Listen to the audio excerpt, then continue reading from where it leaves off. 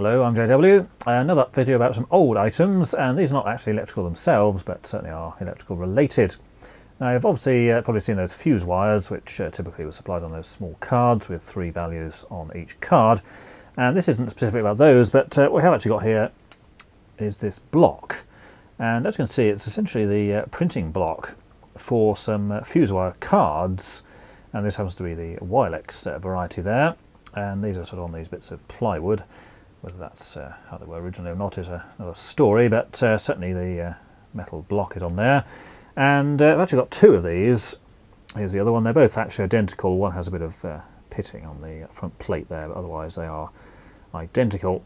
So let's have a closer look at these and see if we can actually print something with them.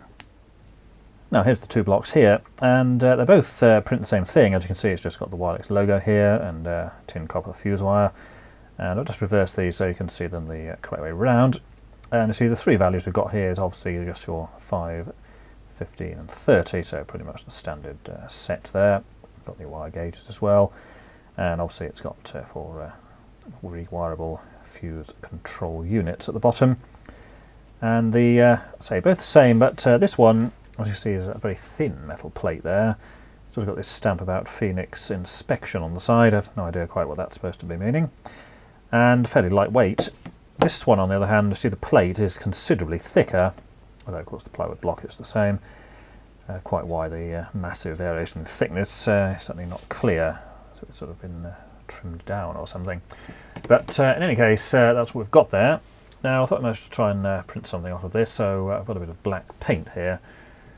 And I think we'll just use this one because this has a bit of pitting, you see, on the actual metal, being the that's the thinner one. So rather sort of rough texture. This isn't too bad, it's uh, say virtually flat. So try applying some of this uh, paint we've got here and then uh, we'll just shove a bit of uh, paper on the top.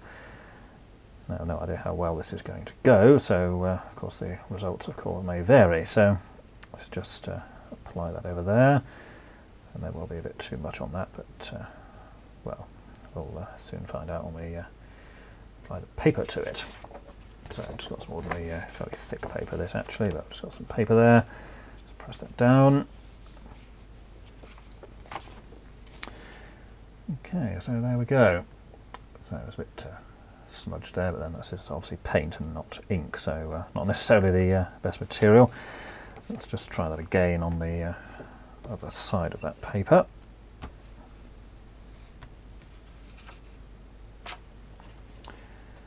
Okay, so there we go. So obviously it was intended to print on a card, and you've got your little uh, hanging hole at the top, and uh, so you would just attach your wire in the various holes. Now, it does uh, appear to this that uh, you'd have to either cut slots in it or uh, actually uh, just sort of cut the edges or it will be trimmed around later on. So presumably there was some kind of cutting die which went with this, and that would also punch the hole in the top as well. But certainly it's quite readable so you've got your 515 and 30 amps there, and obviously the uh, standard wire gauge listed alongside.